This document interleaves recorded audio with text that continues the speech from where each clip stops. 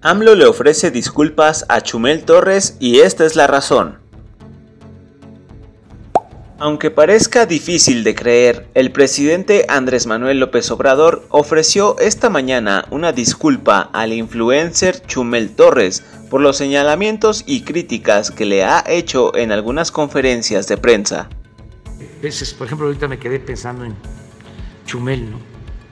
Ya. Pues él está en su trabajo. Y este.